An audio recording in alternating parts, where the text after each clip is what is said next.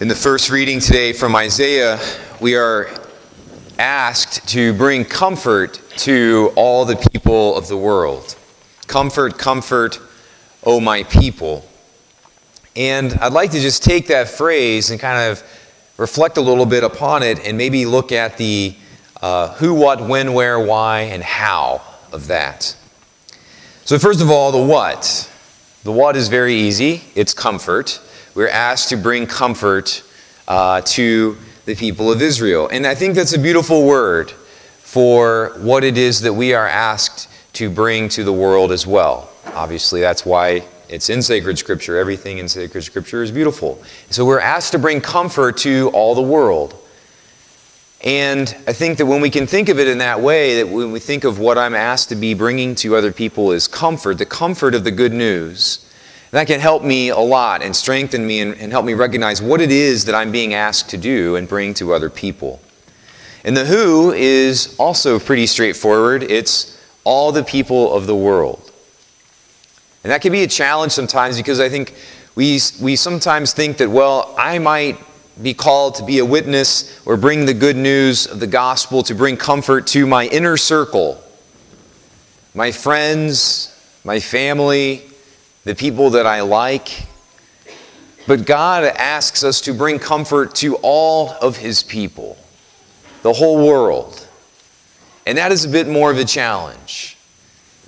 Someone asked me on the way out of Mass last night, Does that mean I have to bring comfort to the people that I don't like? I was like, Yes, it does. And that's the challenge, right? That's, that's what we're, that's why God is giving us this request and asking of us to do this, because He knows that it's not our first instinct sometimes. Our first instinct is to close ourselves off to people that we don't like, or to close ourselves off to people that we don't know. And to think, well, I might be asked to be, bring comfort and bring the good news to the people that are close to me, but probably not those people that it's hard to do that for. But the, the challenge is to bring comfort to all of God's people. So that's the what and the who. And the when is now. Right? So often we think, well, yeah, maybe I'll give that a shot tomorrow, next week, next month, next year, whatever it may be. And to think if we were judged on our intentions and our thoughts about what we will always be doing in our life tomorrow or what we will always be doing in our Christian life next week or next month, we would all be canonized saints because we all have great intentions, great plans to start bringing the comfort and the good news of the gospel to people, to care for them, to help the poor, all those things. We all plan on doing that later. But God says, Comfort my people now. Bring the comfort and the good news of the gospel to everyone today. So that's the when. The why, I think, is also a good question. Why are we going to bring comfort to God's people? And the first answer to that is that because God asks us to. He does. God, God says that in, in the reading today, in the instruction. And of course, it wasn't just something that was being delivered in the prophet Isaiah's time. When we hear the scriptures proclaimed at Mass, it's being said to us in this moment too. And so God asks us to bring comfort to all people, even the ones that we don't like, even the people that are outside of our inner circle. But that why is also, we have to make sure that we are not just doing it because God asks us to. We always have to remind ourselves why God asks us to do anything. And that then, the second answer then to that question, why, is well, God asks us to, but the reason God asks us to is for our own sake.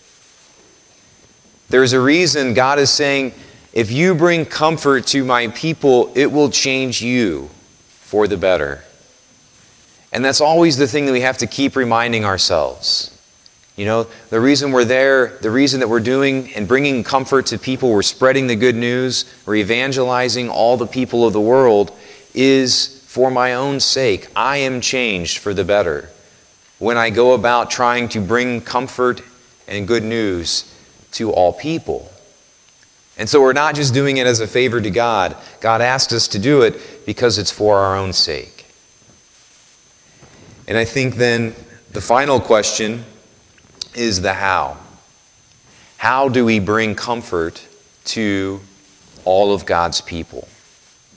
And I think one of the ways that we do that, we get a little bit of an indication about that, or we hear mentioned, I think, one of the great ways, one of the great things that will help us in the how.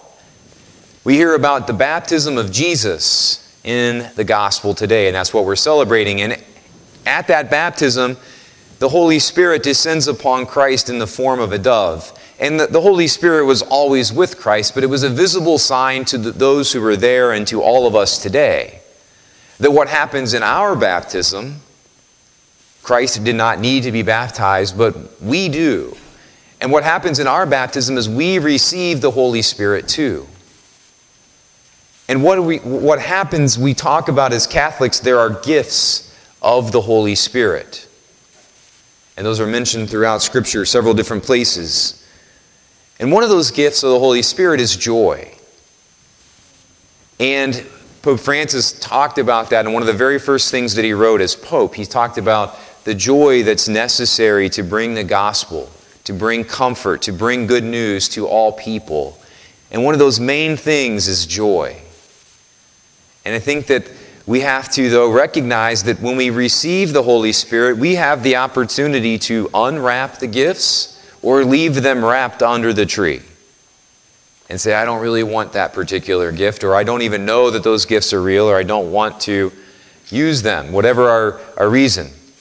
I always think of that when I think of the gifts of the Holy Spirit. I think of my dad who always, and even this year, it's, his, it's a tradition of his, I guess, I don't know but he gets a lot of gifts, you know, from different people at, at work, and he brings them home and he sits them under the tree and he doesn't unwrap them.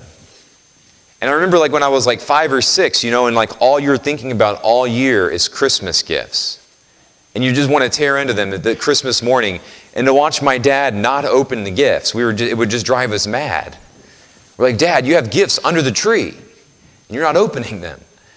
And of course, now we realize, you know, like it's just chocolate and that kind of thing. But as a youngster, it was like, oh my gosh, dad has gifts that he's not opening. And we didn't understand that, right? And I think, too, in the same way, we so often we have these gifts that have been given to us by God, the gifts of the Holy Spirit, the gifts that come to us through our baptism, but we don't open them sometimes. And we just let them sit. And I think joy is one of those big things. And I was thinking, you know, if we if we do if we get everything else right, I know I'm supposed to bring comfort to all the people of God right now, you know, wherever I'm at, and all these other things. But if we don't have the gifts of the Holy Spirit to help us do it in the right way, if we don't bring it with joy, if we don't bring it with love, we don't bring it with patience and all these other gifts of the Spirit, then I think it just it doesn't work. All right, we have to get all those answers. We have to get all of them correct. Everything has to line up for the key to turn in the lock. Right? If we're going to unlock the hearts of other people and bring comfort to them. And I think about joy. You know, if you, if you came in and you were like, you know, I was thinking of, of like a nurse, you know, coming into a hospital room. And she's like, Hi, I'm here to help you. It's my job. You wouldn't be like, Ah, tell me more. Uh, you'd probably want another nurse, right? And so, how are we bringing comfort to other people? Do we have, is joy a part of our life? Is patience a part of our life? Are all those gifts of the Holy Spirit, are we unwrapping them? We've been baptized. We've had the Holy Spirit poured out upon us, but are we allowing it to work through us? Are we allowing the Holy Spirit to work through our lives? Or are we leaving the gifts of the Holy Spirit wrapped under the tree? And so today we pray for the strength to bring comfort to God's people, knowing that it will change us. We pray for the strength to do it now, to bring it to all of the people of God and not just the, our inner circle, not just the people that we happen to get along with. We pray that we may do it with joy and with love and patience, allowing the Holy Spirit to work through us, trusting that even though we might not understand exactly how the story will end, exactly how it is that we're going to bring comfort to people that we don't even know, maybe that we don't even like, we pray and trust that God is asking us to do something that is possible and that is for our own good.